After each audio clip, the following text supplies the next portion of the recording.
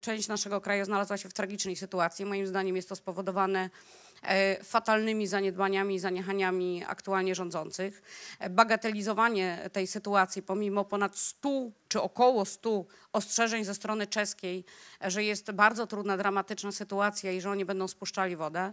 E, Tutaj mieli e, z Unii Europejskiej również informacje odnośnie danych meteorologicznych, że jest tragicznie.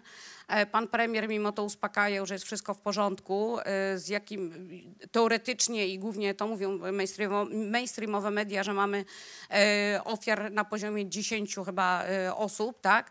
Z tego co my już wiemy, z danych, które zbierają ludzie, jest ich około 400. E, I to są dane na wczoraj tak naprawdę. Na pewno te dane będą ulegały pewnej zmianie, weryfikacji.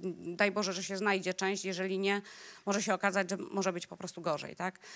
Tutaj bardzo trudna sytuacja też wynika z faktu, że mamy bardzo dużą ilość zaniedbań ze strony rządzących. Nie są wysyłane służby, jeżeli są wysyłane to w marginalnym zakresie. Natomiast głównie na czym się rządzący teraz, y, y, czym się zajmują, y, to jest na przykład taka sytuacja, że, że mamy wprowadzone oświadczenie jest, czy, czy obwieszczenie komendanta Głównej Policji w Warszawie. O tym bardzo fajnie mówi Krzysiek Woźniak-Ator. Obejrzyjcie sobie tego vloga z dzisiaj.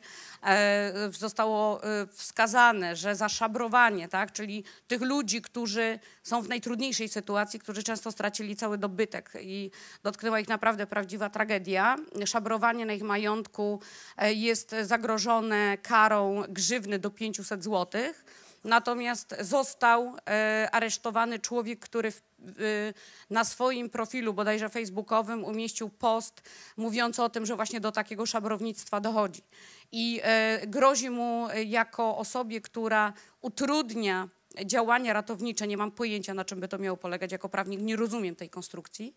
E, Jest jego działanie rzekome, napisanie posta, który jest y, y, negatywny dla rządzących, e, jest zagrożone karą od trzech miesięcy do pięciu lat pozbawienia wolności. Zobaczcie, w jakim kierunku idziemy, jak to eskaluje.